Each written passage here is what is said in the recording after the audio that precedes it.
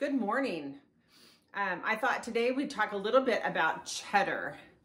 Um, it immediately, for me anyway, it immediately adds a bit of uh, antiqueness and uh, just something that looks old about a quilt when you use quite a bit of cheddar in it that I love right away. So um, you may know it as chrome orange or cheddar. When I'm looking through my stash, I think of cheddar, cheddar cheese.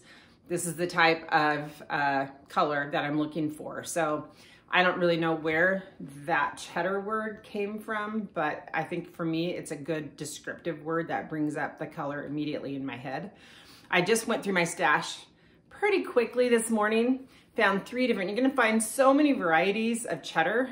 So you just have to find what's gonna work for your project, whatever you wanna use. And it works great in a modern day project as well, or a fall project. Um, so many uses. And I think just using cheddar is really hard to date quilts because cheddar has been around for a long time and has been used for a long time. Even maybe not so much in the 30s, but even in the 30s, um, you'll find some that have quite a bit of cheddar in it. So anyway, so here's just three, there actually are different colors here, three different solid cheddars, which are great. I chose a few prints out of my stash and they range from cheddar to light, just a variety that you can use and still call it cheddar. Let's see if I can't do that here. Um, and it just makes, makes a lot of fun uh, quilts. So, and right now with fall coming, people are already starting to make fall colored quilts.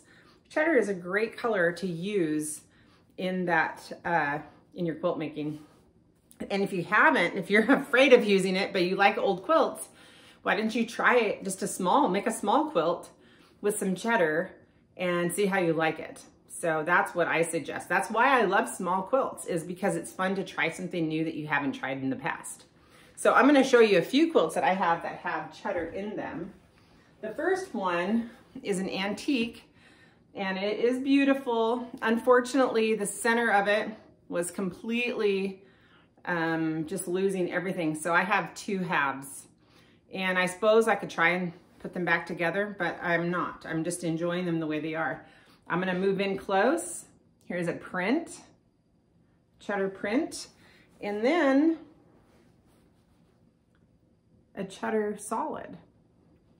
So this quilt maker chose to use, you know, maybe probably what they had. Um, I do want to say though, really, look at that quilting. That is amazing.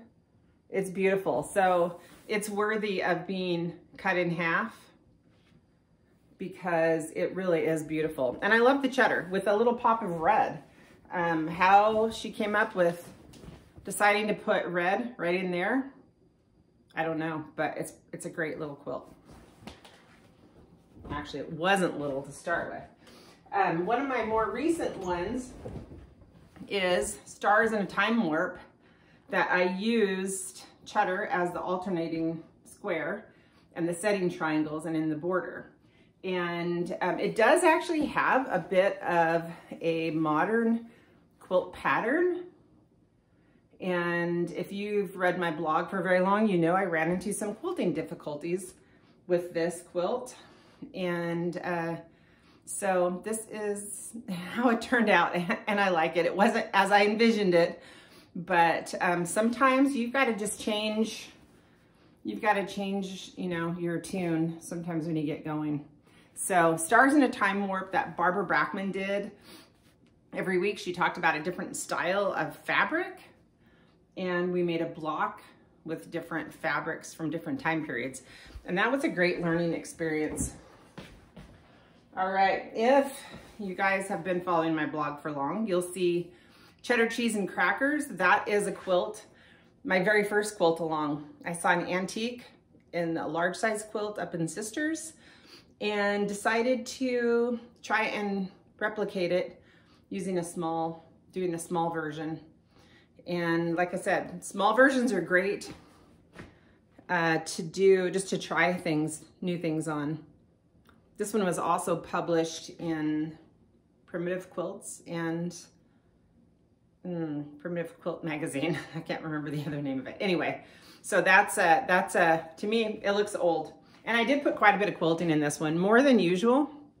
You can see that. I think I actually went back and added quilting after it was done because I just felt it needed some more. Here is another quilt along. This one is called Country Lanes. And I'm gonna move in. You can see it's actually a cheddar print. But I still think that overall, the cheddar makes a really nice old looking quilt.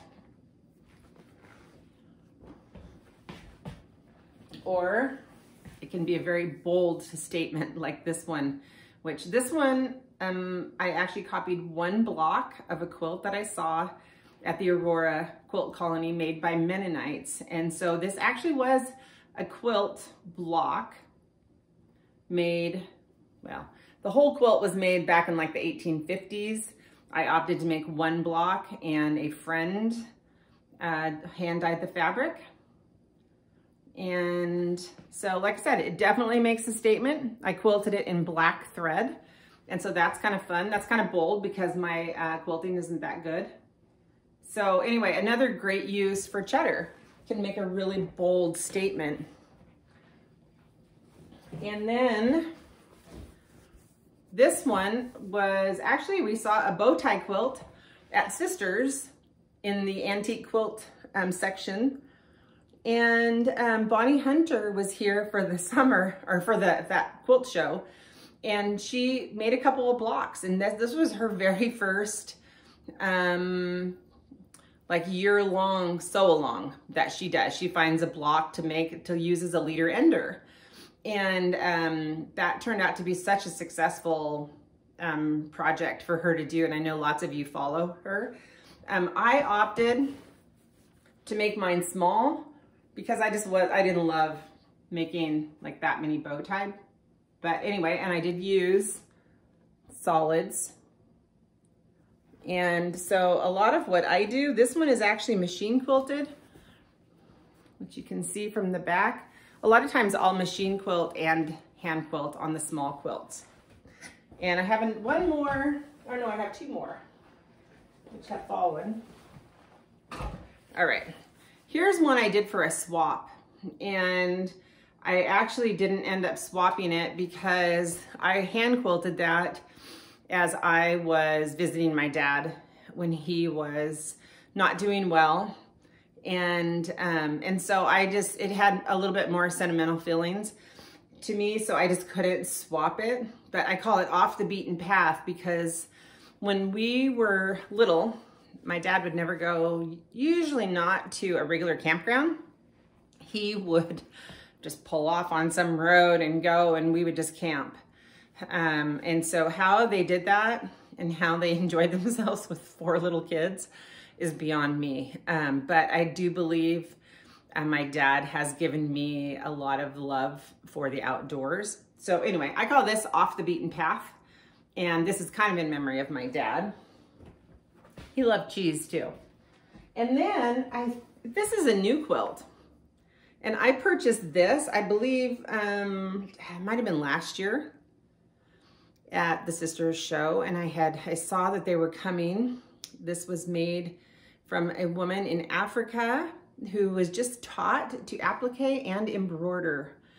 And they tell the story of their lives. And so this is, um, it says, supporting obstet obstetric fistula survivors in Kenya. And I have a little paper that says who made it in their life story. But I personally think the cheddar is what drew me in to this one. And I think that's why I loved it so much. And um, so it's a great little quilt. And anyway, so there are some samples of some of the um, different quilts that you can do with cheddar. I would love to know if you have uh, made a quilt with predominantly cheddar and um, share it on the Facebook group if you have. And if not, let me know if I've inspired you. All right. Take care. Have a great day.